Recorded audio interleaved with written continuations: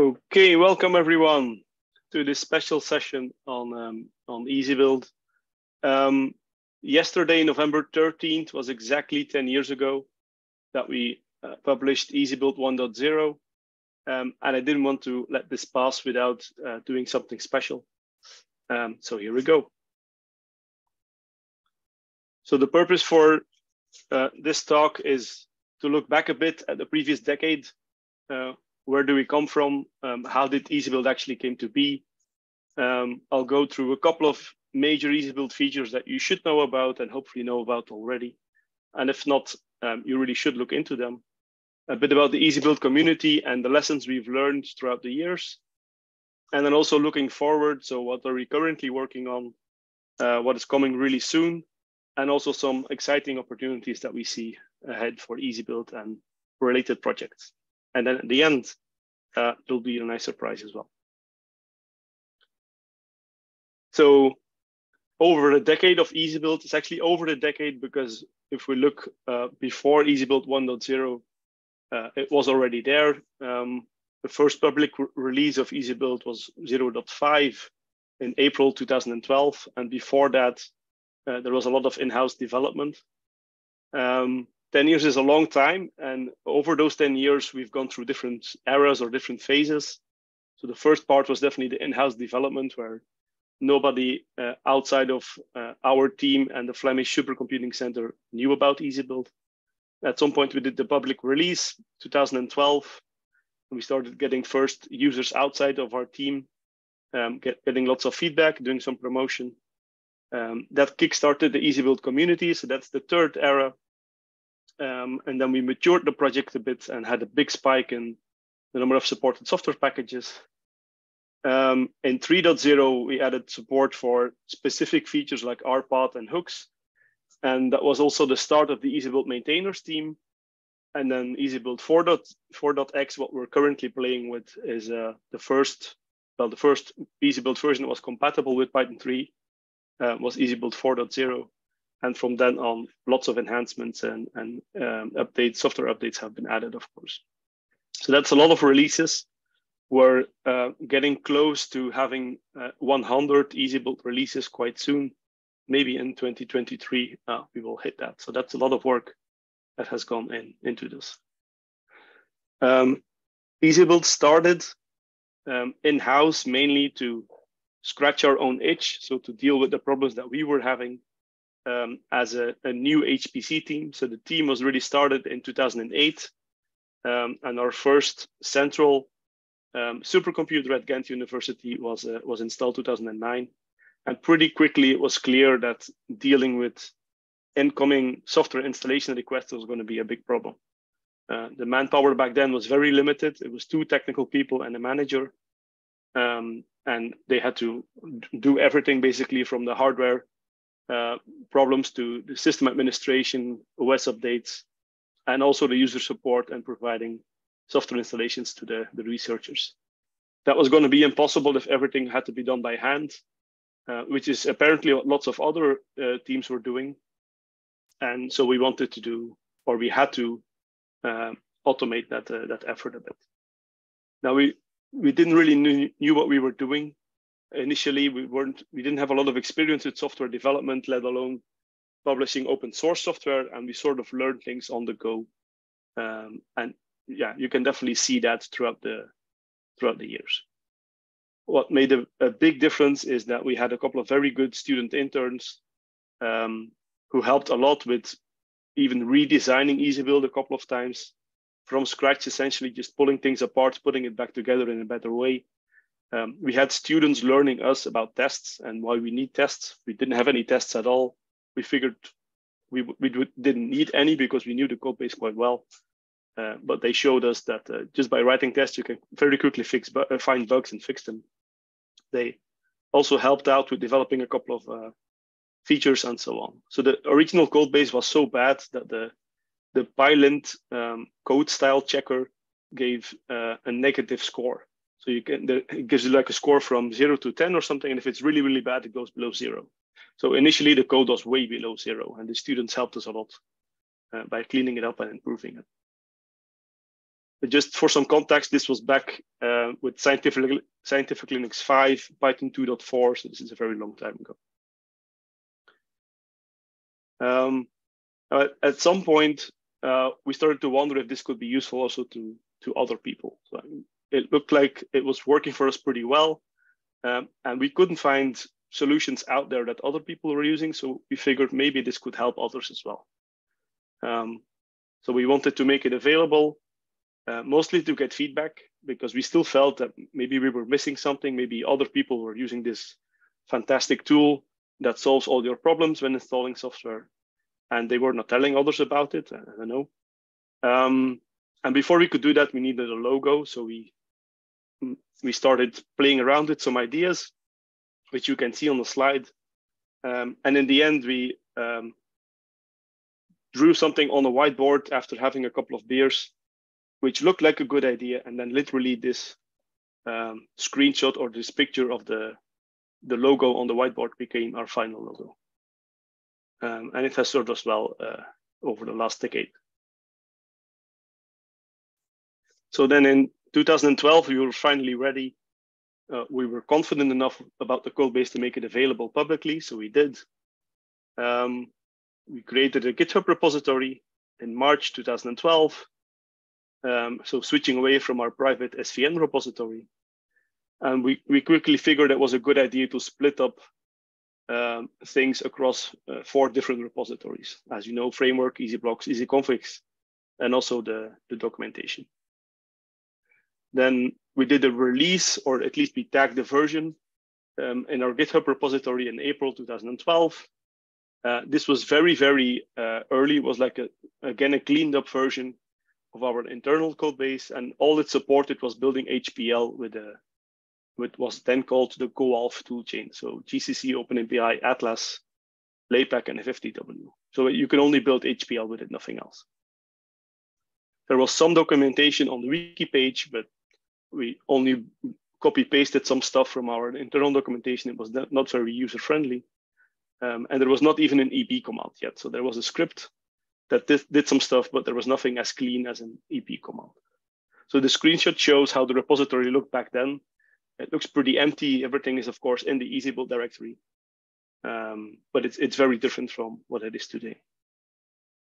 So it was about 6,000 lines of Python code, 23 easy config files, and nine easy blocks. That was it. So very a very lightweight first release.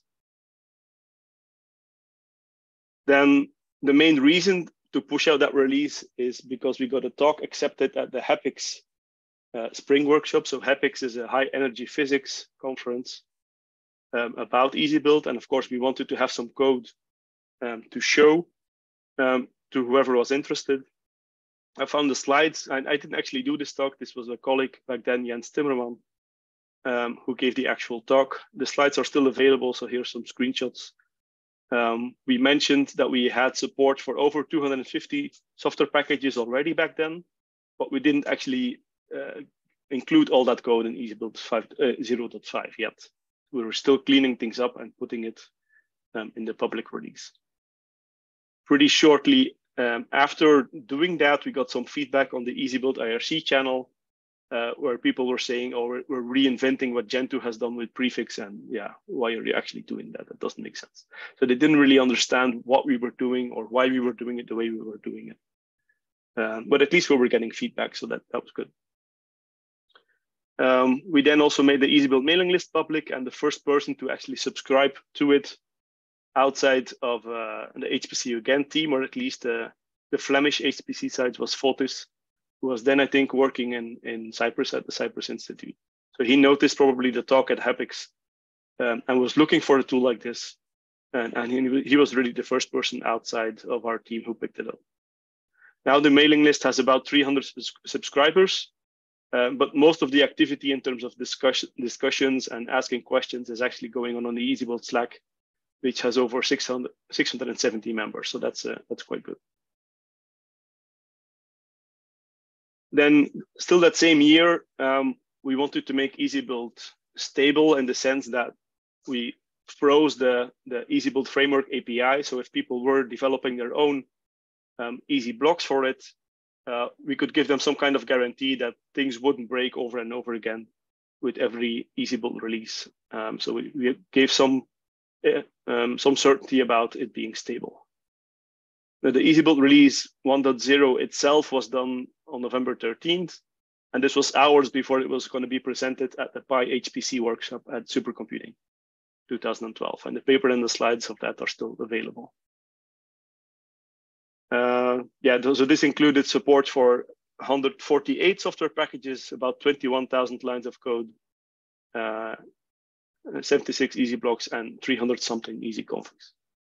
And the, the feedback we got from this was was pretty positive. So people, uh, some people like the Andy Tyrrell, uh, where they showed the tweets of, is saying that this is the the best thing he'll take or the coolest thing he'll take home from supercomputing, and that was a very nice feedback. So people seem to be happy, and we seem to have found a hole in the market where nobody else was working on a tool like this, uh, which is good. And of course, this, this, this motivated us to continue with the development and making sure that whatever we could share publicly was being shared publicly. And this really started the EasyBuild community. So more and more people started picking up on EasyBuild and started to use it, not only use it, but also actively helping out with fixing bugs or adding support for more software, adding features, and so on. Uh, we also started organizing hackathons where we wanted to brainstorm about EasyBuild, like what should it be able to do? How can we implement this? Uh, where should the focus be? Uh, and how to make it bigger, make it, make it, uh, make it support more software and so on. We shortly after we also set up the, the now well-known EasyBuild conference calls. Every two weeks we have an EasyBuild conference call. Anyone is uh, um, is welcome to join in.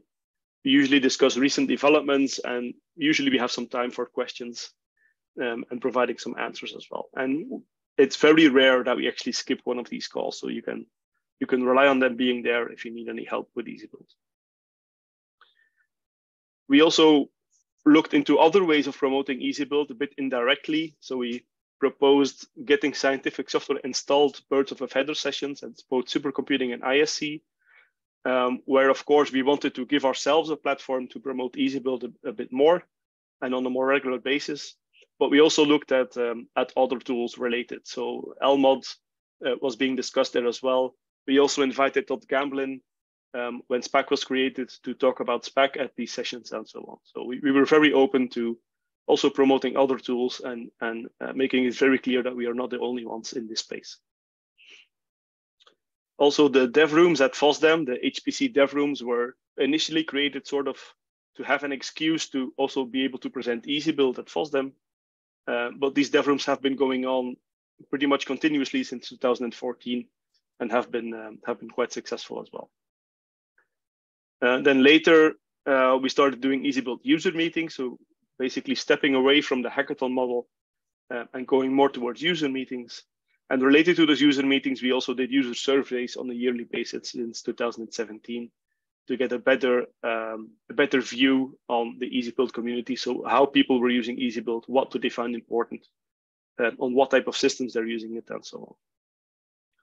Then more, re more recently, we finally got a tutorial accepted at ISC. We tried multiple times, and uh, and the COVID year 2020 was the first time we actually got the tutorial accepted. The tutorials were actually uh, cancelled at that year at ISC for for the due to the the pandemic, and it only ended up being presented in 2021. But we did get our foot in the door there, and also this year we had a tutorial there, and we hope to have one next year as well. Now, one thing that's very difficult uh, when doing open source software is to get a good view on uh, how many people, how many HPC sites are using it, since everyone can just pull it down from the web and doesn't have to tell you that they're they're playing with it, um, you don't really know who's using it. So the, the best way we've come up with is looking at the visits to the EasyBuild documentation, uh, where you can at least see from which cities uh, people are accessing the documentation and how frequently they're doing that. Um, so the, the screenshot of the, the world map shows you the cities from where EasyBuild was visited in the last year and how many times. So the bigger the, uh, the sphere, the more it was visited. And currently we have over 1000 page views per week in the EasyBuild documentation. So that's that's definitely not bad. It's getting lots of uh, uh, lots of reads.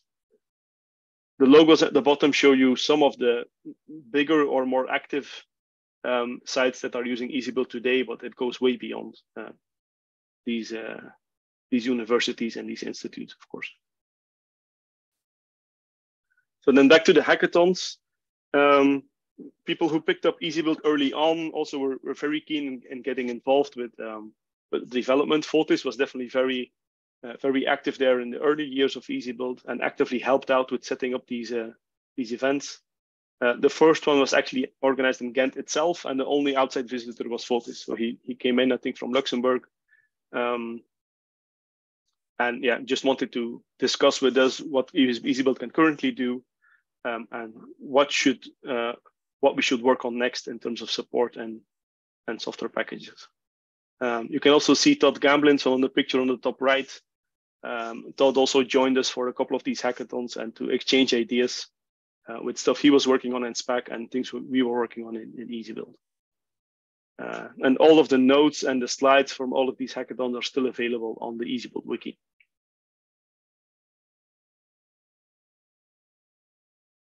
Um, then, of course, we also continued to do promotion about EasyBuild um, whenever we got the chance, and lots of other people did the same thing as well. Uh, our Twitter account has been quite active over the years. We now have 666 followers, and I didn't gain this in any way. Um, there's also some interesting quotes on in certain talks where George from the Cyprus Institute, for example, said that EasyBuild saved his life. So without it, it would be very difficult to do the work he's been doing. Uh, we handed out stickers, we handed out coffee mugs, and we will keep doing that uh, whenever we see the chance as well. Uh, I've been interviewed for a, a podcast. Uh, we had EasyBuild Cake at some point. So when there was five years, the five year celebration of EasyBuild 1.0 um, was celebrated at Supercomputing 2017. So somebody uh, ordered cake with the EasyBuild logo on it, and that was uh, lots of fun to see. Um, and the, the picture on, on FOSDEM, so the middle, sort of bottom middle, is the first time that we had seven EasyBuild maintainers in the same room. Uh, we actually have over 20 EasyBuild maintainers today, so maybe at some point we will we will do better than that. Then the, the user meetings, this these kind of evolved from the hackathons where uh, we saw a bit of a shift into uh, what people wanted to discuss or, or wanted to talk about at the hackathons. Uh, it was less of hands-on development and more discussions and showing each other how they are using EasyBuild or in what context and, and, and how it was configured and for what reason and so on. Um, so this is what the user meetings still are today. These have actually been very well attended. So the first couple of uh, user meetings had 20, 30 attendees. Uh, but the last physical one in Barcelona, early 2020, had over 50 people uh, actively joining, with some people flying in from the US or, or Australia. So that's a that's quite unexpected, I would say, and that, that's quite a, a good sign of the uh, of the maturity of the EasyBuild community. Uh, what we've always done from the very start is, um, at the very least, record all these talks and also stream them. And all of these uh, all of these talks are still available on the EasyBuild YouTube channel. So we hope we can keep this up, um, and at the very least, make this hybrid um, events where if people can't travel or don't have the time to make the trip, uh, they can still follow along. Now, of course, the, the previous two um, sessions or the previous two events were fully virtual through Zoom and, and Slack due to the, uh, the ongoing pandemic. Uh, but we think it's, uh, it's now safe enough again to have a physical EasyBuild user meeting again next year. Um, and we are going to move away from, uh, from winter time in Europe uh, just to hopefully avoid some of the trouble. So we're currently looking at April, May or something um, to organize the next meeting. Now, this is, nothing is set in stone there the date or the location is not fixed yet, so we're currently looking into this, but you'll hear about this soon. And of course, hopefully we'll uh, we will break the record of attendees, at least at the physical events. We'll see how that goes. Then looking at some of the, the major EasyBuild features that were developed over the years. So all of these are, uh, are documented either in the EasyBuild documentation itself, or if not, uh, they are covered in the EasyBuild tutorials. Um, of course, lots of features were implemented over the years in EasyBuild. A lot of these are driven by the community, either by uh, suggestions or questions uh, by, by people using EasyBuild, or quite often also people who actually implemented the, the features themselves and then uh, sent us pull requests uh, to get them integrated into EasyBuild itself. There's lots of examples here. I won't discuss all of these, um, but if you're not aware of some of these things on the list, they're definitely worth looking into. Uh, one of the major features that was implemented uh, by people outside of the HPC Ghent team was support for hierarchical module naming schemes. So the, the Jülich Supercomputing Center was a, a, a big uh, driving force behind this. Uh, especially Markus Geimer spent quite a bit of time on this uh, during the early hackathons. Um, so the intent is to organize your modules in a different way, um, that you have very short module names and that you can only load modules which are compatible with each other. So as the picture shows, um, you have a GCC module and only if you load that GCC module, additional modules become available that are compatible with, with this version of GCC. And then the same thing for the, uh, for the MPI module. If you load a particular version of OpenMPI, then more software becomes available that, that is uh, linked to this MPI uh, library.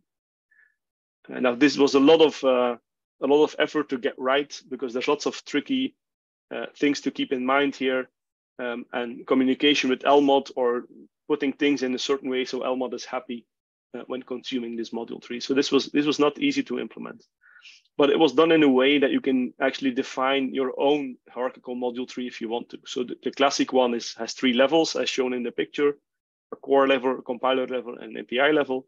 But you can make this uh, tree as deep as you want to with, with additional levels if you want to as long as you're careful enough in the, in the, implementation of the naming scheme. So all you basically do here is you implement a small Python module that describes where the modules should go in the module tree. And then EasyBuild takes care of the rest. Then um, one of the key features in EasyBuild is definitely the integration we have with GitHub. Um, so this was actually implemented out of need. We were starting to get too many contributions. There was not enough structure um, in the contributions. Um, many people wanted to contribute, but were not familiar enough with Git or GitHub. And to some extent, we still see this happening today. Um, so we felt we had to do something about this. We wanted to uh, avoid that people had to do all the uh, all the commands to rename easy config files, put them in the right place, start a branch, um, push it to GitHub and then go ahead in GitHub and open the pull request in the right way, targeting the develop branch and putting the right information in the PR title or the PR description. Um, so we ended up automating that whole process so you can uh, straight from the EasyBuild command line open the pull request. And you don't have to um, give the, the file name uh, the correct name or something. EasyBuild can figure out how it should be named and how where it should be placed and so on. Um, so this saves a lot of time, both for the contributor, but also for the, the EasyBuild maintainers who review um, the pull requests because everything is very well structured. And we know there are certain things that we don't have to uh, keep an eye out for, like the naming of the easyconfig files, the location, the target branch should be developed. All of this is taken care of automatically if the pull request is opened with, uh, with new PR. Uh, so this was a big help. And next to new PR, there are various uh, related features as well, like pulling easyconfig files from a pull request or uploading a test report uh, when you're doing an installation from a pull request, updating pull requests. Um, so there's lots of uh, small variations or related actions here that you can you can do straight from the EasyBuild command line. And it's really, it has been a game changer, I think, uh, in terms of uh, getting contributions. And a small thing, but I think a very useful thing, and maybe something we should even enable by default and the next major version of EasyBuild is the, the trace output mode. Um, so by default, EasyBuild will not tell you a lot of what's going on in the background. It will just give you uh, lines like preparing or installing or building uh, without actually showing you what's going on uh, in the background. If you enable trace mode, you will get a lot more detail, but without it flooding your screen um, with lots of excess information. So when it does the prepare step and when it's setting up the build environment, it will show you which modules are being loaded, for example. Uh, when it's doing actual installations, it will show you which command is being run and where the output of that command is being stored. So if you want to, you can tail that log file and see um, what that command is actually uh, doing and, and, how it's progressing. Uh, you will get timestamps as well, so you can check on things. If something is taking too long, um, you can uh, you can quickly spot it. So this is very very useful, um, and I definitely uh, strongly encourage you to configure EasyBuild to always do this uh, because, in, at least in my experience, it doesn't get in the way. It only helps. Now another um, mode is the dry run mode. This is very different from trace because this will um, actually just look at how EasyBuild would install something without actually doing it. So this will always run in a matter of seconds um, because it's not actually installing anything. It will just show you the commands um, that would be run if you if EasyBuild does this installation. So if you use eb-x, you will get an answer as shown on the slide. So it will show you during the build step method which type of commands or which commands will be run and in which location. Um, and for example, for the sanity check, it will tell you what EasyBuild will check for uh, before declaring success on the installation. So this is very useful. It, it opens up the black box that people were, uh, yeah, that people felt that EasyBuild was to them. So they didn't really know what was going on or what EasyBuild was going to do. Um, with the eb-x dash X option, um, you can actually get that information straight away and very quickly. Uh, so this is, a, I think, a very good idea if you're wondering uh, what EasyBuild will do or how an, a change to an easy block or an easy config file will affect the installation. It's very easy to tell um, if this will actually be picked up or not. Then another key feature, and this is this was implemented uh, relatively recently, um, is the support for customizing the functionality of EasyBuild with hooks. Um, so throughout the EasyBuild code base, we've uh, we do callbacks to uh, hook Python functions um, if they are defined. Um, and in these Python functions, which you can uh, fully control yourself, um, you can do any additional actions, you can run checks, or you can run additional shell commands. You can even manipulate internal data structures of EasyBuild um, to make changes to what EasyBuild would do by default. Uh, so this is relatively easy to use and it's a very powerful feature uh, because you can really change anything almost um, to what EasyBuild does uh, by adding a small amount of Python code. So the example in the slide is uh, shows you how you can customize the configure options for OpenMPI with a pre-configure hook. So you're basically telling EasyBuild if you're installing OpenMPI and you have with verbs in the list of configure options, then you should replace that with without verbs instead, and then just continue with the installation as you would do normally.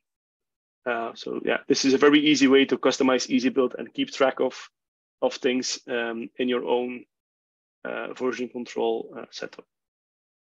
Now, some sites are really using this quite extensively.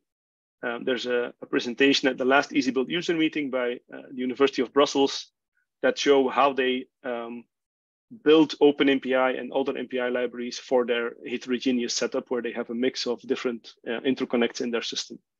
Um, so they, they do lots of uh, detection and tweaking of configure options there uh, through their hooks.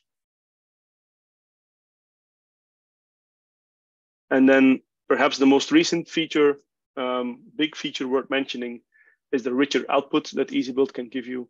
Uh, so for this, we leverage the rich Python package um, it's not a required dependency, but if it is installed, um, EasyBuild will use it to give more colorful output or to give progress bars uh, whenever it's downloading files or uh, running an installation. Um, when it's installing extensions, which, which could be uh, over a thousand, for example, for recent um, R easy configs, it will tell you how many ex extensions are done, how many are still left, how much time has been spent up until now on the installation, and so on. So this gives you a, a, concise and a colorful overview of, um, of how EasyBuild is progressing. Yeah, and this is also something I strongly recommend. So all you need to do is to install the rich Python package with the same Python version as EasyBuild is using, um, and then this will be enabled automatically. Okay, so next to all the features that we have implemented over the years, a big part of EasyBuild is of course the software that is supported um, by EasyBuild. So what you can install uh, with EasyBuild. Uh, this has been increasing over the years, of course, um, and we even see it increasing more quickly in the last couple of years. So we're adding about 400 extra uh, software applications and libraries per year to EasyBuild, so what it can support. This does not include versions. so this is unique, um, different software projects. And this also doesn't include what we call extensions, so things like Python packages, R libraries are usually installed as extensions to something else. Um, so those are not included in, in these counts.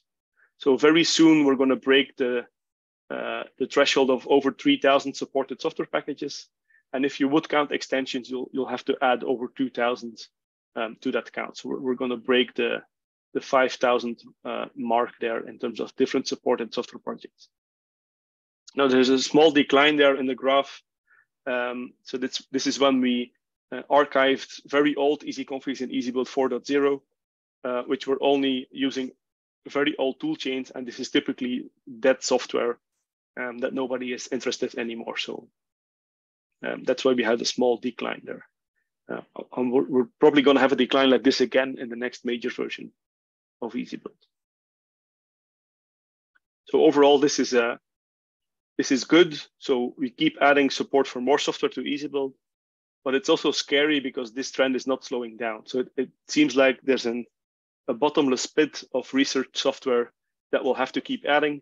Um, and new packages keep coming up uh, from new domains, things like bioinformatics, machine learning, AI. So, uh, so new projects are being created probably every day. Um, and I don't expect this effort to slow down uh, anytime soon. Now, all of this software um, support doesn't come automatically, of course. This is uh, this comes in through the contributions we get from the EasyBuild community and all the contributors that do a lot of hard work um, in opening pull requests and making sure those installations work um, and go through the, the fairly strict review process that we have uh, before we include something in EasyBuild. So we're, we're quite um, extensively testing contributions before we can actually merge them in. So we're currently uh, seeing about two and a half thousand easy config pull requests per year. So if you think about this per working day or something, that's over 10 pull requests per working day, which is quite a lot. Um, and that's beyond, that's without the framework and easy block PRs that, uh, that often go along with it as well. In the last decade, we have seen over 25,000 pull requests being opened um, to EasyBuild. So that's, that's quite big. These pull requests were opened by over 375 different people over the years um, and over the different repositories. And per year, we're currently seeing well over 100 unique uh, contributors. So 100 different people in 2020, 2021, and also this year, we've already broken our previous record in terms of uh, unique people. So we're, we're probably going to have over 120 unique contributors uh, this year. Now, uh, there was a big impact here um, uh, by the GitHub integration feature, so the support for opening pull requests from the EasyBuild command line. Um, this support was implemented because we were getting too many pull requests and they were not structured well enough. But we've probably shot ourselves in the foot there a bit by adding support to make it very easy to open pull requests. We've been getting way more, way more pull requests than we were uh, ever before. So you can see the support was implemented in 2016, and since then it has been increasing quite a bit. Now, this is mostly okay because the pull requests have way better structure and also for the EasyBuild maintainers, it's way easier to process these pull requests. So even though we're getting a lot more, um, we're still quite happy with the GitHub integration that we have. Yeah, and all these contributions are uh, reviewed by EasyBuild maintainers. Um, so in 2016, we were starting to get too many contributions for just the HPC UGent team to handle.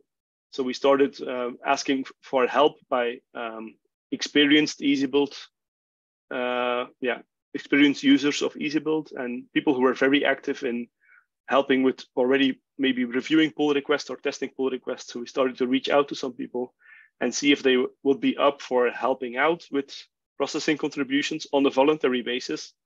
Um, so to be clear, nobody is really being paid to do this. So they're doing it as a part of their job, um, their regular job, and they're just trying to find some, some time left and right, some hours in the week um, to help out with uh, reviewing pull requests and, and getting them tested and merged. Uh, we also have a rotating, what we call maintainer of the week role. We actually have two. Um, so two maintainers are um, responsible for looking into incoming issues and pull requests that week. And this is also on the best effort basis. So the guideline is sort of to try to spend one hour per day that week to look at stuff that's uh, that's incoming. And yeah, whether they hit that hour or not, or spend more time, that's absolutely fine. Um, so they just do what they can. Uh, last year, we also had the first EasyBuild Maintainers Summit. So we're all, or as much as possible, EasyBuild maintainers were getting together uh, to discuss uh, on the short term which changes should be implemented in EasyBuild, how we can more efficiently process contributions, and so on. Uh, we haven't planned the next maintainer summit yet, but we probably should um, sometime in the coming weeks or months. Um, so the EasyBuild maintainers have been very, very important to EasyBuild. Without them, there's absolutely no way that EasyBuild will, would be um, uh, would be in the current state that it is. Um, so whenever you get the chance to thank an EasyBuild maintainer, um, if you run into them, if you know them, uh, please buy them a coffee, please buy them a beer, or or thank them in some other way. So whenever you get the chance to do so, please do. Then there's a couple of things that that we or certainly I have learned um, over the years. Like I mentioned, we have we had pretty much zero experience with releasing software in the wild or doing open source software development. Um, so these are a couple of uh, things that come to mind that we've learned over the years. So first of all, and I've I've mentioned this multiple times, if you want to release open source software, you think that's a good idea, maybe it is, but be careful because if you start a community, then things will explode quite a bit. Um, and you'll have to somehow deal with that. And there's, you can find multiple stories um, by people that have burned out because they, they released some software um, out in the wild and it became somewhat popular. So you may want to think about uh, what you're going to do if that happens. So we were also not prepared with this, but somehow we, we found a way to deal with it by asking for help in time um, implementing features that um, make it easier to deal with incoming contributions um, and so on. So we're still quite busy, but I think we're more or less um, keeping up and we're spreading the load uh, well enough that, that we can keep doing that. In terms of promoting your project, the, the best way, the absolute best way to do so um, is word of mouth. So um, if you would like to get others to use your your uh, your project, give talks about it, at every possible opportunity in different ways podcasts, uh, classical presentations, giving demos. So everything you can do to show people the value of your work um, is something you will have to do. Um, so even then, even if you're doing this for over a decade like we have, we still run into people every now and then which are in the HPC or the computational science community who have never heard about your tool before. So this will keep happening no matter how many talks you give or how many promotion you do. Uh, so people will still be surprised and still tell you, why didn't I know about this, even though you've been screaming from the rooftops for, for 10 years. And even if they have heard about your project, it doesn't mean they've actually tried it or they, they are convinced to really spend the time um, to start learning to use it. So uh, people really have to be convinced uh, before they start using your project. And the best way to do them is to somehow getting them to try it hands-on themselves, even if it's only for 15 or 30 minutes. Um, let them try it, let them play with it, and let them be amazed about what it can do and how much time it can save them. Also, making clear to people what your tool is actually doing um, is not easy. Um, so they may have some high-level idea, or they may say, "Oh, this is just like Gentoo prefix does," uh, and then why should I take why should I take a closer look at it and of course, when they look underneath the covers or when they start playing with it themselves, they realize there's there's more to it or there's a different aspect to it um, that was not immediately clear. So that's also uh, uh, yeah something that's very difficult to to uh, to get across. Um, if you're implementing new features, very often they will get overlooked, maybe because you didn't make enough noise about them, or maybe the documentation is not there or or not detailed enough. Um, so you'll have to keep pointing out these features over and over again when people ask questions. Um, and you shouldn't be surprised by that. So it's very easy to um, to overlook that you're developing with this this tool every day or using it every day, while other people are may, maybe only using it once or twice a week. And then of course they are, they are going to overlook features or not know about recent developments. Also about incoming contributions, we've we've seen this multiple times that somebody comes up with a very small pull request initially, um, and it's very important that you're you're try to help them or try to explain them what they need to know to get that pull request in, because these people may grow out to be really um, really good contributors, really frequent contributors, or people who have skills that you're currently missing in your contributor pool. So there, there are examples where people are uh, fixing bugs in GCC or complex libraries like OpenBLAS, um, and they're only still around in the project because we were very welcome welcoming to them initially. Um, and if we wouldn't have been, they would have probably walked away and we would have missed out on getting all that experience into the project. And also the, the experience and the skills you have yourself and Git and GitHub definitely comes to mind here.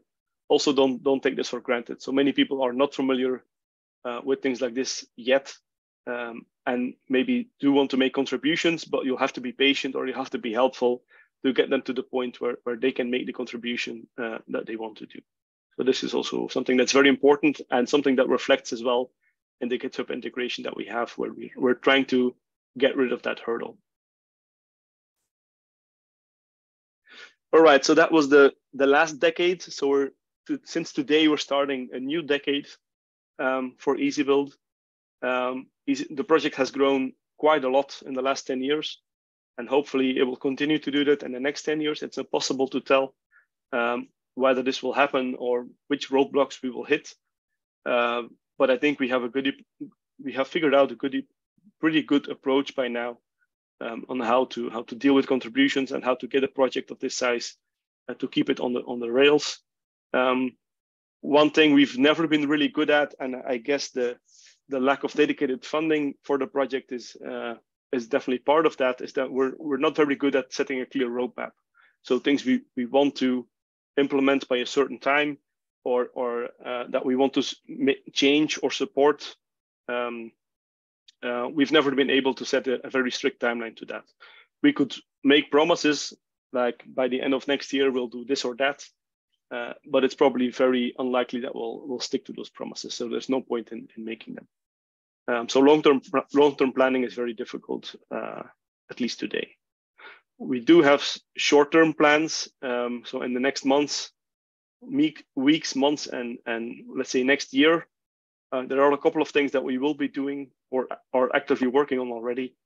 Um, one of these things is porting the EasyBuild documentation to Markdown, uh, and I'll uh, have a separate slide on that coming up. Then the next EasyBuild release is probably going to be uh, 4.7. Uh, so this is, let's say, weeks away, maybe by the end of the month, that should be there, depending on um, whether we're hitting any issues or want to get in a particular feature before we do so. Um, we're also starting to think about the release of EasyBuild 5.0, so the next major version of EasyBuild, and have some more uh, specifics on that as well. And of course, the next EasyBuild user meeting is, uh, is something that we're uh, actively discussing on when that will happen and where it will happen. Um, in the longer term, we have lots of ideas, uh, small and big, um, but one thing we should definitely uh, spend some time on um, is significantly improving the error reporting that EasyBuild currently does. So whenever an installation fails, um, EasyBuild does keep track of all the, the information. The build error is going to be somewhere in the build log or maybe in a separate file in the build directory. Uh, but I think that EasyBuild can do a, a lot better job in, uh, in catching those actual build errors or pointing out uh, where they are and maybe even make some suggestions on how to fix them. Um, and then another long-term project is making EESSI production ready, and I'll explain a bit more about EESSI as well. So the first thing that we're currently very actively working on, and that's an effort that has only started a couple of weeks ago, um, is uh, improving the EasyBuild documentation. And the main thing we're doing here is porting what we have currently, uh, which is in restructured text and rendered restructured text and rendered with Sphinx, uh, is we're moving this to Markdown and MKDocs.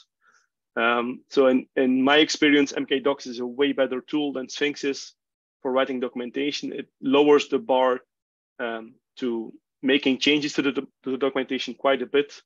Uh, the markdown syntax is also the same syntax that we're using in, in, in GitHub issues or GitHub wiki pages, GitHub pull requests. So the, the jump uh, to that format is a lot smaller than it is to RST.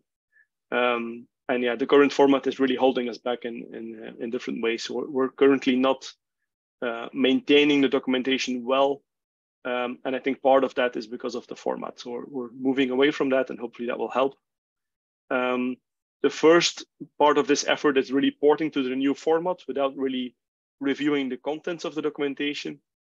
Um, but in a later stage, once all the porting is done, we also hope to set up some kind of review cycle, uh, like one page every week or something, uh, where we, we look at that page in detail and see if there's any updates needed or if it's still accurate for the current um, EasyBuild versions. Uh, with MKDocs, you can very easily get a local preview of the documentation while you're editing it. So as soon as you hit save in Vim or Emacs or whatever editor you're using, uh, the rendered documentation will automatically refresh, and that's uh, that's really helpful when, when writing documentation. You, you can see how it will actually look. Um, and also when the uh, when the documentation is rendered with MKDocs, the search feature that MKDocs provides is also way more powerful, way more instant. As soon as you start typing something, you'll get instant results and better search results as well, in my experience, uh, which is also uh, very welcome. So all of this effort is being done in a separate repository. We're, we're pulling out the EasyBuild documentation from the EasyBuild repository into a separate EasyBuild docs repository. Um, and one thing we will we are doing and are yeah are trying trying very hard is to make sure that existing links for docs.easybuild.io will, will not get broken. So even though we're going to move everything to a new, new format and the new documentation has will have a slightly different structure, the existing links that you'll find in emails or God knows what uh, should keep working. And for this uh, ongoing effort, I, I, would also like to thank Simon and James, who have been spending quite a bit of time on this in the last two weeks um, and will will hopefully continue to do so. Um, but anyone who's willing to help out with this effort, either by looking at what has been ported already or by actively helping out with porting what still needs to be ported is very welcome. So for this, please take a look at the EasyBuild docs repository uh, where, where, there are some clear instructions in the README file on how to get started. Then looking ahead a uh, couple of months, let's say, um, is we're starting to think about the, re the release of EasyBuild 5.0. So this effort has not started yet, really, at least not the implementation part of it. Uh, but we do have a pretty good view on uh, what should happen by then or what breaking changes we will make in EasyBuild 5.0. The biggest one, uh, which is hopefully going to be of low impact, is dropping the support for running EasyBuild on top of Python 2.7. Um, so Python 2.7 is end of life since January 1st, 2020, um, which is now uh, almost three years ago. Um, so we think it's time to, to pull the plug on the support of, of Python 2.7 in EasyBuild, at least on, in terms of running EasyBuild on top of Python 2.7. And hopefully the impact of this will be very small or non-existent. Um, just like in EasyBuild 4.0, we're also going to archive the ancient easy config. So anything using an old toolchain um, and that's anything using uh, GCC older than 8.0 or a common toolchain version older than 20, uh, 2019A um, is going to be moved into an archive. So it's going to stay in EasyBuild, but we're not going to test it anymore. And you should expect that it's going to be broken um, quite soon. And then uh, and this is maybe going to be the biggest uh, change in terms of impact um, is changing some defaults in the Python package EasyBlock where we're, we're going to enable the use of pip and the running of pip check and the sanity check uh, will enable those by default. So that's the biggest back, backwards incompatible changes. There may be additional ones, but they're probably going to be small and the impact of those is going to be limited. And in any case, we will have very clear documentation of what has changed and how you can um, mitigate those changes if you are affected by them.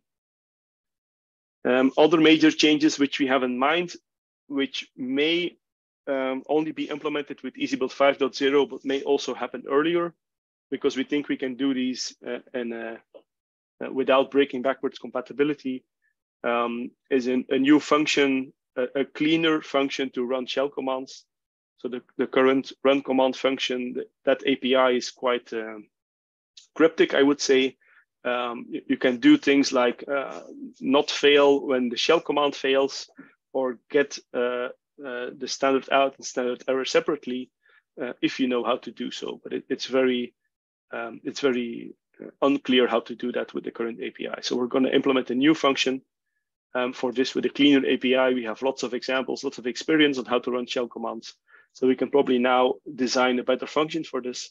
And also with, with some new capabilities. So there are ideas when a shell command fails, for example, that EasyBuild can drop you into an interactive shell, and then you can start figuring out uh, why that command failed uh, in the in the build environment that EasyBuild was running it.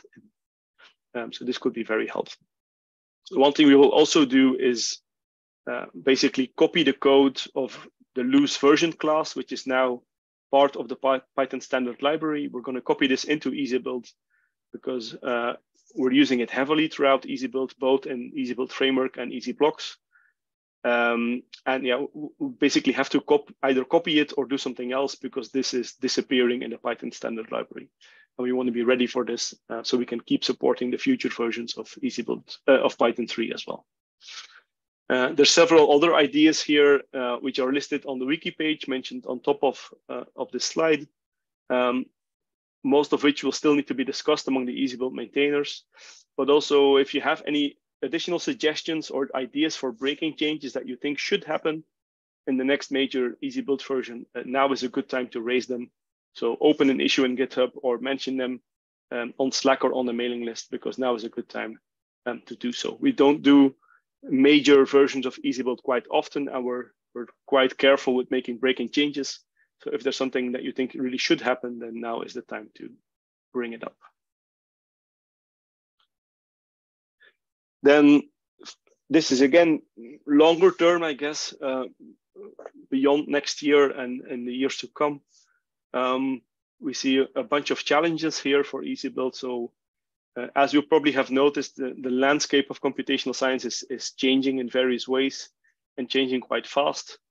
Um, so the explosion in, in available software projects that are relevant for researchers has already been happening quite a while, and that's why that line of supported software keeps going up for EasyBuild. Um, there's more additional domains. People are being pressured a bit more to publish their code, and then other people are picking up on it. Um, and there's also wider adoption of HPC in general, like GPUs, for example. Um, so all of this has an effect on uh, the software that researchers are using. Um, there's also increasing interest in, in using the cloud, AWS, Azure, so all these commercial clouds or even um, private cloud setups um, are being used more and more. And this also has an impact on how software is being installed. Um, so uh, I think one thing we want to enable here is that people don't sacrifice performance when they're using these platforms, but they can still run binaries that are properly optimized for the hardware on which they are going to run. Um, and this is typically what doesn't happen with containers and Conda. So there people are sacrificing performance because they want to be able to run anywhere. And in our view, that doesn't really make sense. And I think we can avoid this.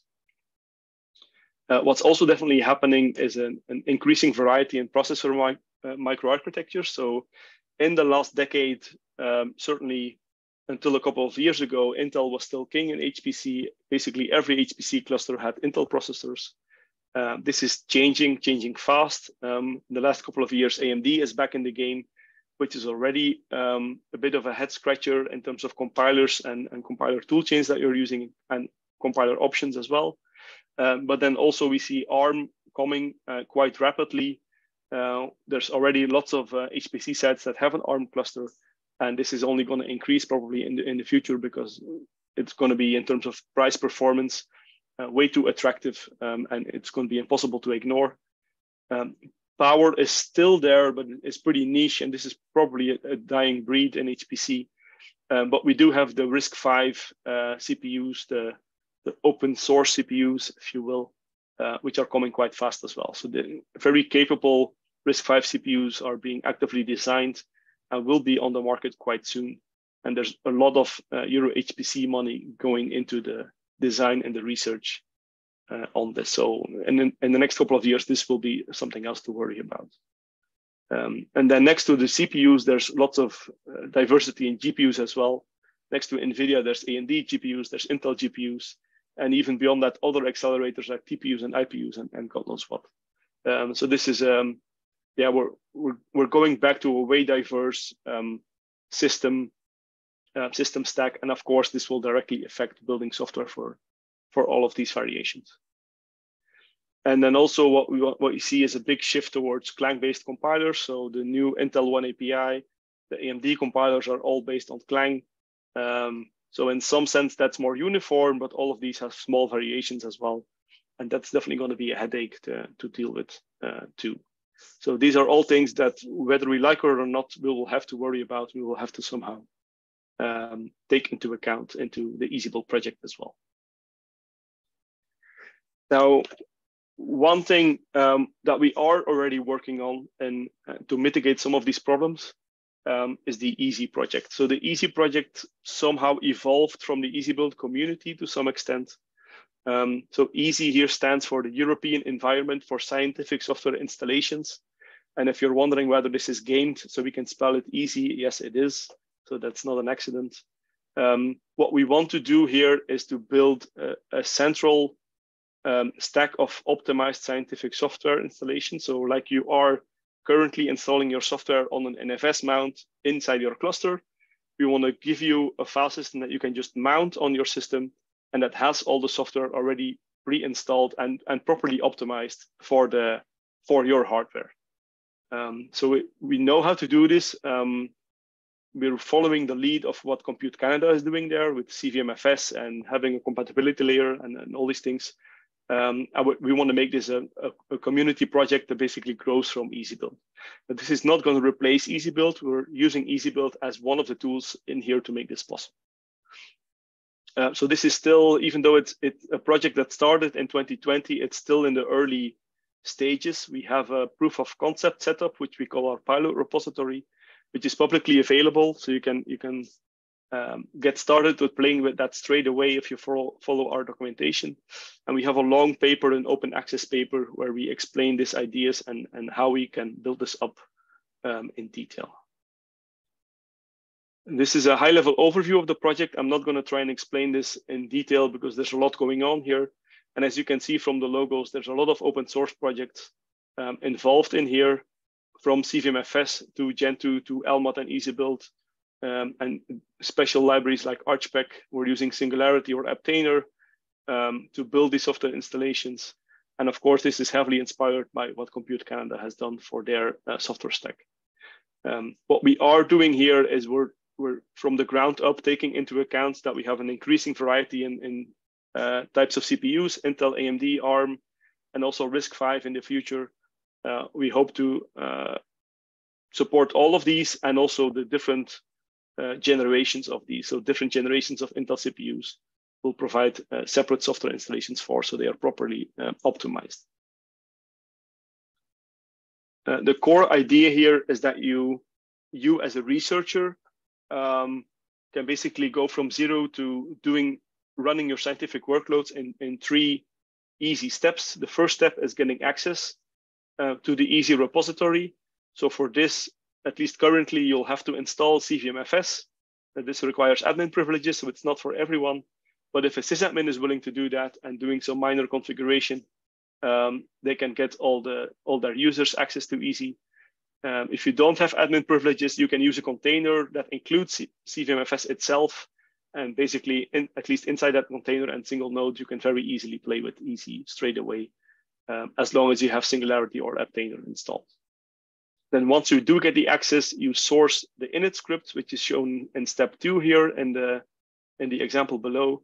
And that's enough to start playing with all the software that we provide um, in EESSI. Um, so then you can start running GROMACS or OpenFOAM or TensorFlow, whatever. And the init script is smart enough that it will detect what type of CPU you have, whether it's an Intel Skylake or an AMD Rome or a RISC-V or whatever uh, variation, it will pick the right part of the software stack so you get optimized installations for this.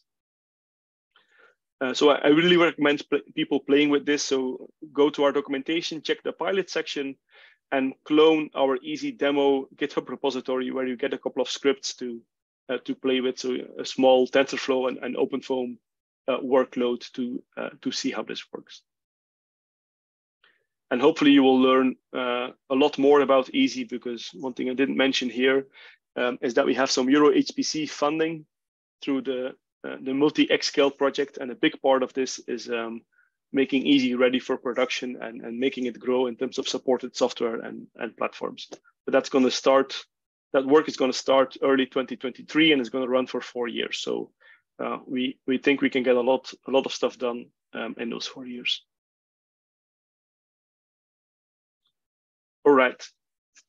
And then we're ready to, to wrap up the presentation. I did promise a small surprise. Um, so we've been playing with EasyBuild for over a decade now.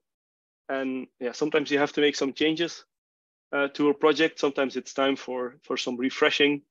Um, and one of the aspects of EasyBuild is definitely up for a refresh.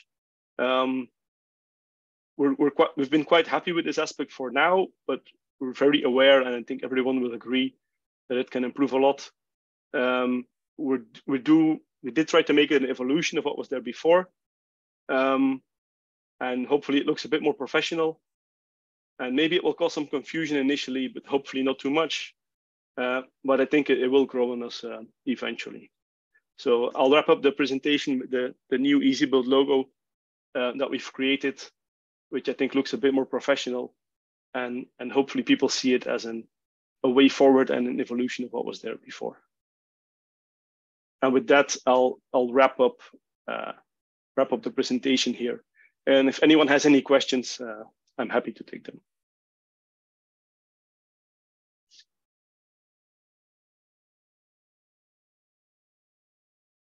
So if you have any questions, maybe raise your hand um, in Zoom or post them in Slack, and then hopefully Simon can keep an eye on those uh, and raise them.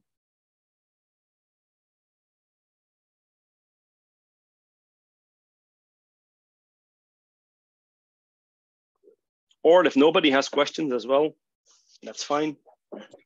Yeah, oh, we do see a question. Jed, go ahead. You can unmute now. Hi, hi, hi, Kenneth. Thanks for the thanks for the presentation, and thank you for uh, thank you and the rest of the community for for developing easy EasyBuild. And I'm more of, of a user than a than a contributor, although I, I although I do um, have done quite a lot of of my own um, um, um, EBs uh, over the years. One of the things that I, I that that I suffer with or struggle from is uh, oftentimes I want to update one software package that has a long dependency chain. I have to go back and and and update a lot of um, a lot of EasyBuild um, um, um, sorry, scripts. Easy configs, yeah. Easy configs, yeah.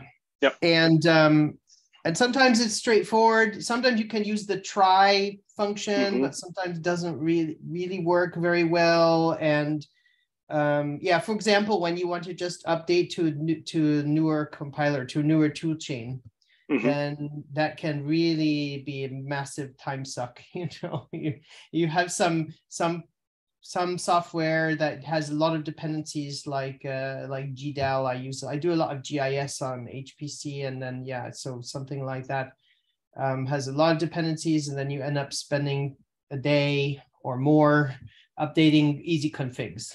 Mm-hmm. Um, and I know that I may, I know that maybe there's no sort of easy way to make it easier but uh but that that i would say that's the only that's the only and they're probably still the easiest thing that's probably still the easiest way to do it compared to any other method for maintaining software on my on my cluster. But still it seems like it takes a lot of time. I don't know. Mm-hmm. i don't know. I just wanted to throw that out there as as, sure. as, as kind of thing i do. Yeah. Thanks. Yeah, there are a couple of things here that, that I think could help. So you've mentioned try, but do you mostly do try toolchain or are you also using try update deps, for example? So the, the try update deps method is, uh, and maybe you've muted again, but um, the try update deps method is, uh, is fairly new and is an experimental feature. It's definitely not perfect, um, but I think it, it does help a lot. Yeah, that's that's a good idea. And actually, I didn't know about that, so I will I will try. That's a good that. And so when you so just a question on that, if you do a try like that, does it create um, a new easy config that you yes. could then um, you put in a PR? Yes, it, it, when you do a try, you can actually, well, if you do a try, it will do actually try the installation as well. If that's successful, you get the easy config file in the installation directory. But you can you can combine try with copy EC. So that's also dash dash copy EC is just to copy an easy config file to somewhere. So the try will generate the easy config file and the copy EC will just copy it. And that way you're not trying to do the, the installation. When you when you when you combine try toolchain with try update deps, it will yeah. not generate one easy config file, but multiple ones. So all the ones right. that it needs for the dependencies. And either it will, I think it will either um, pick up new easy configs that are already there. And if not, it will just assume it, it will have to use the same, um, the same software version uh, for the dependency that was already there. But at least that gives you a stack of easy config files to start from, to try with a new compiler toolchain, and then see what breaks and what doesn't. Yeah. Uh, that's, so that, I, I, will. Tr- I will try more with try.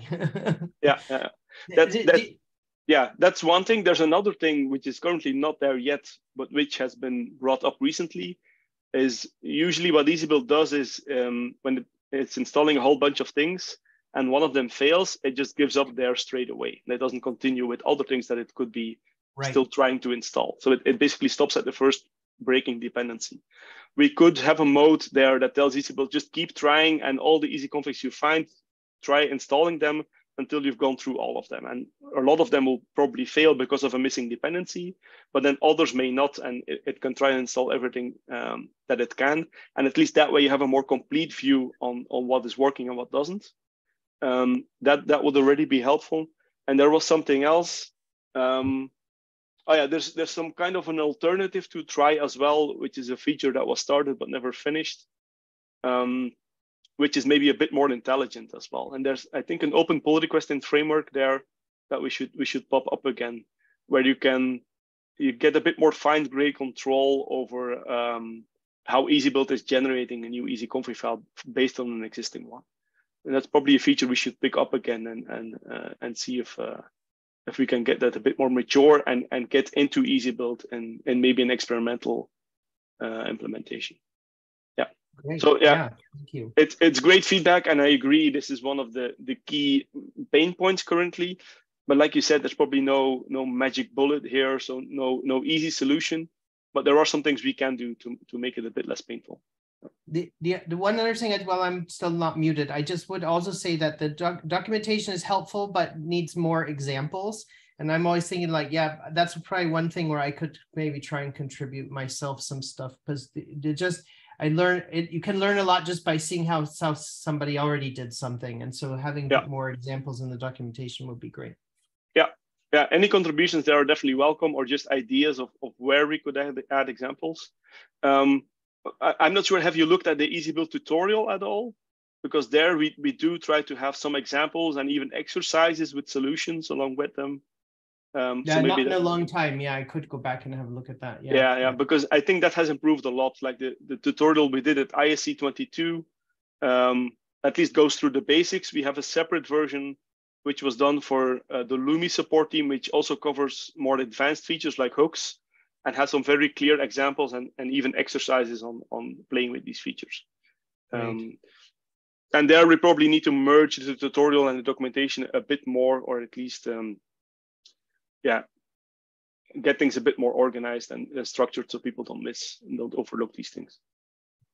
Yes, thanks a lot. Right. Great feedback. Thanks a lot. Okay, York, I think you're next. Yeah, thanks. Um, two things. First of all, a big thank you for making EasyBuild. It definitely makes my life easier. And also a very big thank you for all the help I received over the years with my sometimes probably trivial, but I didn't understand it problems. And sometimes they are like, okay, that is an issue now. Please raise an issue. So thanks a lot. I really appreciate that. And it cannot be said too often. Thank you. Um, one question I'm having is you mentioned IPUs and TPUs. Do we actually have access to, the, to these hardware? I, I currently don't. I, I know these things are around there. I also, I personally don't have a lot of experience in playing with these. I hope it's just installing another library and then this thing knows how to talk to, to this special purpose hardware, but I have no idea how, how these things work.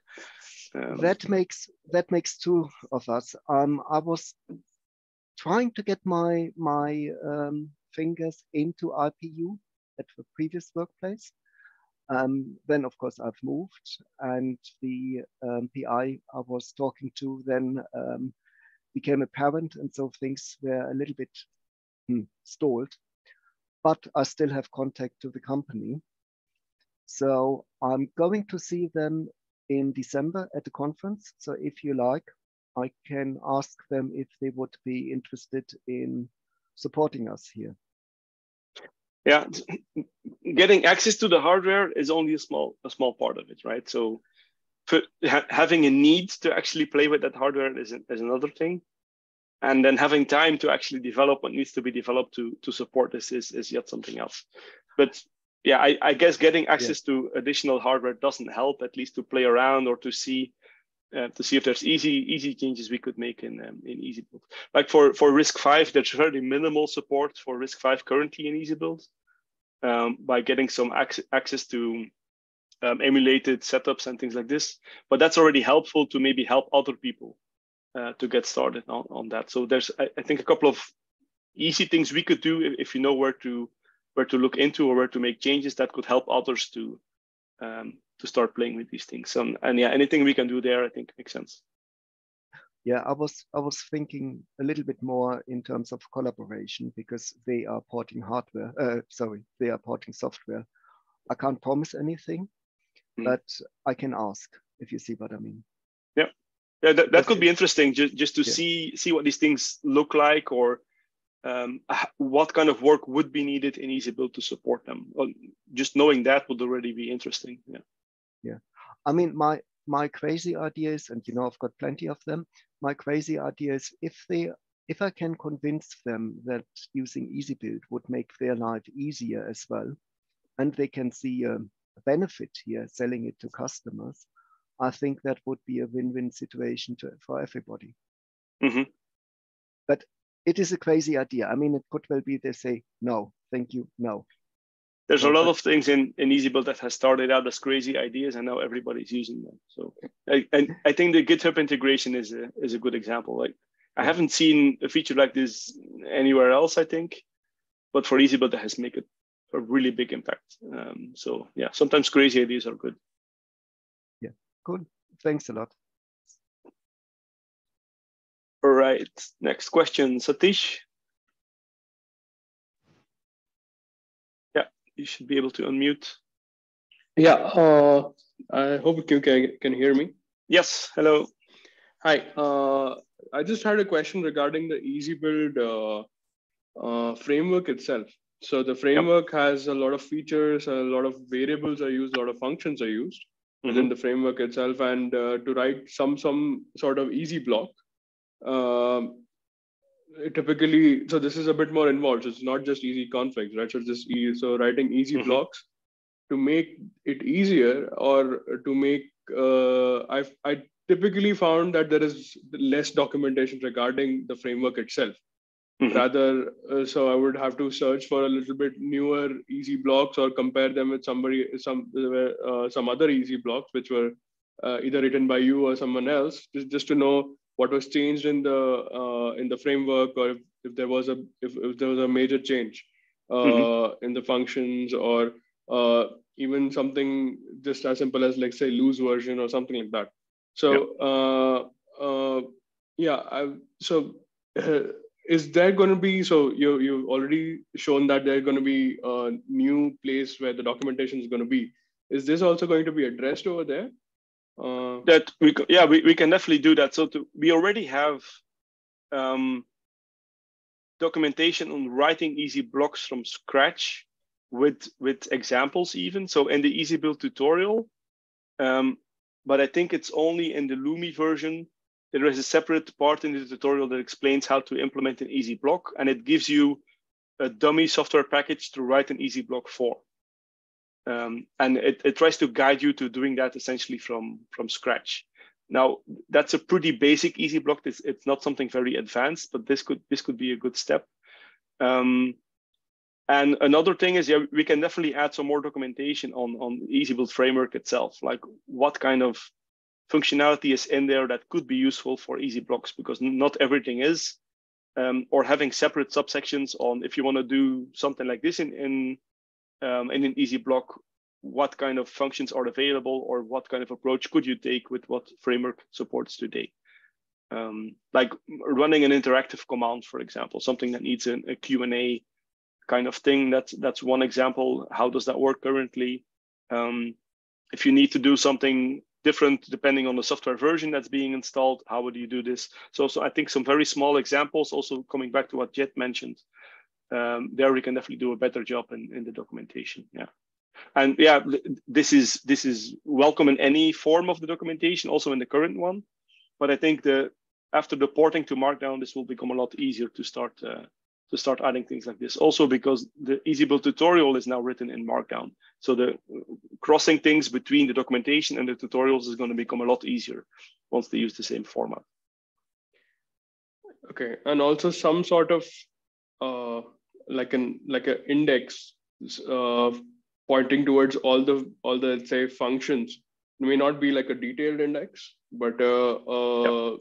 just to just to see what sort of functions go go in some uh, because typically we see uh, we can see these kind of things in a doxygen uh, kind of a framework where you see mm-hmm. the where you see the function the inputs that go into it and uh, and hopefully the output that comes out of the function on uh, kind of documentation so yep.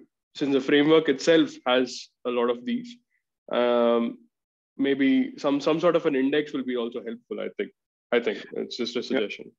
And in the current documentation, we already have an API section. So if you go to the docs.easybuild.io and you look for API, there's a link mm-hmm. there that has an overview of all the functions. But searching through that is currently, I think, a small nightmare. Um, and and that is something that we'll we'll definitely keep an eye on for the new documentation. That the, the search functionality is a lot better in MkDocs. Um, and we're going to make sure that when searching for things that you should hit in the in the API part of the documentation, which is something we still need to figure out. Uh, we're going to try and make sure that yeah you're getting decent search results there. So if you look for a function to read a file, for example, that you can very easily find it through the search box. Um, okay. Yeah, so that's definitely something we'll, we'll keep an eye out for um, when wrapping up the, the porting efforts. Yeah. Yeah. yeah. And, and just, much.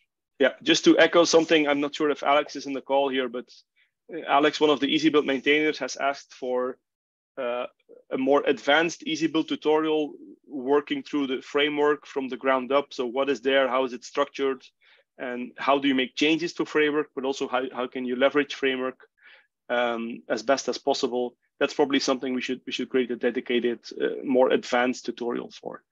Um, and this this would be, I think, very useful as well for people who write easy blocks. Oh, um, so, okay yeah, so hopefully we'll uh, uh, we'll find some time for that. Yeah, thank you very much. Okay. Do we have any other questions? Pablo. Hi, Kenneth. My, my question is not directly related to EasyBuild, but to EESSI. Uh, okay. Um, is uh, like what what do you think is missing to consider EESSI production ready, or what, what are the main that's a good a good question. The main thing that's missing is manpower. Um, so and and that's actually a solved problem now because we have funding. So starting January first next year, um, the MultiXscale Euro, EuroHPC project will start, and and a big part of that project is uh, providing a software service like like EESSI does. So we're basically going to make EESSI mature um, in there. Uh, we'll have a, a couple of full-time people working on this on just the service side of the project. So four or five full-time people for four years. Um, and that's mostly people who are already active in the EESSI project. So that that's very good, who are already know what needs to be done and already agree on, on how it should be done. So I, I think in the first, let's say six months to a year um, into that project, we'll, we should be able to make EESSI really production ready. Um, what that involves is a couple of things. We have to change our, our CVMFS setup a bit. So it's set up in a more secure way. Um, we have some dedicated monitoring for it. So if something goes wrong, we know it quickly enough. Uh, we'll set up some kind of uh, rotating support role. So if something goes wrong, there's always somebody around to, to try and mitigate those problems and, and fix them. Uh, basically, like you would do with any production setup. Um, and another big part of that is uh, before we want to make it production, we want to automate the way in which software is being added into EESSI. So right now we're using EasyBuild for that, but we're manually setting up the build environment with a container and then running EasyBuild in that environment, letting it do the installation. Then we make a tarball of the installation, we upload it somewhere, and then it gets ingested. And all of these uh, is too manual work. So humans are doing this, shuffling this uh, this tarball around and setting up this build container. Um, and we're, we're creating a bot that does this automatically for us on the different types of CPUs. Um, uh, so that automates the whole process. That's first. So humans don't have to do it anymore. And it also opens the door for people outside of the project to open a pull request and say, I want to add, uh, let's say, bowtie into EESSI. And all they do is to add a, a line with the bowtie version and the toolchain that should be used into a file. They open a pull request for that. And then the bot says, OK, I know what, what this means. I will go ahead and build this on the different CPU targets um, and then if a human tells me to deploy, I will deploy it into EESSI. So we're basically doing the same thing like we do with Easy Configs, um, but then to actually deploy something into, into EESSI. Um, and that's an effort that's already ongoing. And I think we're quite close to finishing that. Maybe this that will still be finished this year. Um, and that's another, uh, let's say, requirement before we can make EESSI production. So we have a very good view on what needs to be done. We know how to do it. We're we don't have the time yet to really do it the way we want to, but early next year, um, uh, we should have the time to do that. So hopefully by, let's say, summer or definitely the end of next year, things will look very different for EESSI and, and you'll be able to rely on it uh, way better than currently. Yeah, and maybe Alan has something to add here. Yeah, just to just to mention, I mean, there's some there's some technical stuff as well, right? So we have GPU support in the works um, for the CUDA stuff also we've been considering how to do, how to deal with MPI implementations at different sites. So some people have vendor MPIs, right, that they have to use. Um, there are potential solutions here, but they need their yeah they need work, right? So I, have worked on something called MPItrampoline a bit um, to try and use that, uh, which looks really positive for C and C++, but is problematic with Fortran. Um, so basically, that just gives you the same kind of approach as FlexiBLAS. It just gives you the it gives you the standard, and then you can have whatever is behind the standard and use that. Um, any implementation. Um, yeah, and but there are limitations there, and um, maybe we can get around them. So I again had contact with that developer last week, but it's probably this kind of things that that are also in the way of adopting at a particular site. Um, but if you if you're already using open if you're already using OpenMPI, you're in a pretty good place, I would say, with what's there. Yeah, and you'll, definitely hear more about this, Pablo, when when um, um, next year when we think EESSI is ready for production, we will be very very vocal about it, and you'll you'll definitely hear about it. Yeah, so keep an eye on it. Let, let's say uh, keep an eye on uh, on the EESSI Slack and maybe the EESSI Twitter account. And, and yeah, we'll probably hear about it in, in the Easy Build mailing list or Slack as well. But we can unmute you again if you have something else. Yeah, go ahead. Uh, no, I just wanted to say thank you, and that uh, maybe, in my opinion, maybe it would make sense to make it once the infrastructure part is in place, which I think is one of the main pieces. Mm-hmm. Uh, of course, it's just my opinion. Maybe I'm missing information because I'm not very involved in the project, but maybe it would make sense to make it available for people, uh, even if not the full GPU support is there and not full MPI support is there, because you know uh, until you don't open to real end users, uh, you don't yeah you need the feedback from the user. It's yeah. just my my view. So maybe and that that's definitely what we're going to do. And that, that's also why we have the pilot repository already there which has some things like bioconductor and things like this. So things that we know work are already there. You can already play with these. And that kind of structure or, or the way you use it is not going to change much once we switch to the production setup. And, and maybe something interesting for you, there was um, a, a bio hackathon last week in Paris um, where somebody from SIB actually, um, Sebastian Moretti, was adding um, a bioinformatics pipeline to EESSI. Uh, we're hitting some small issues there, mainly on ARM, um, but on x86, Intel and AMD, it's, it's basically just working. And we're now very close to ingesting all of these installations into EESSI as well. And, and then especially I think for, for you and your users, there's stuff in there that they can very easily play with and, and you can see whether they like it or whether they hit any any roadblocks. Uh, okay, yeah. thank you. So I, yeah, I will uh, probably I will try to give it a try. Just to let you know, I'm trying to push EESSI across uh, because we have a project to collaborate across different Swiss uh, facilities. And well, my, my view on that is that we should help on EESSI. Yeah, so but for us, the, the main point will be once the contribution part is uh, is ready. So we can yep. really contribute to EESSI. Mm -hmm. And of course, I can only speak for myself, and I am not a manager. But from our side, uh, from my side, I will try to push our teams to to contribute as yeah. much as possible. Sounds good, and I think we're very close to opening up that that contribution workflow and having documentation on it and being able to provide help on it when when people are uh, are playing with that. Yeah. All right. Great. Cool. Thank you. Thanks. A, thanks a lot. Okay. Do we have any questions in in Slack, uh, Simon, or are we good to wrap up? I think we're okay.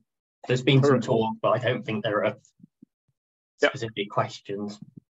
Okay, then unless somebody else has a question here, I think I think we can wrap up. Thank you very much, everyone, and uh, don't forget to have a beverage of your choice to celebrate the, uh, the the start of the next decade of EasyBuild. Thanks a lot. See you around. Bye bye.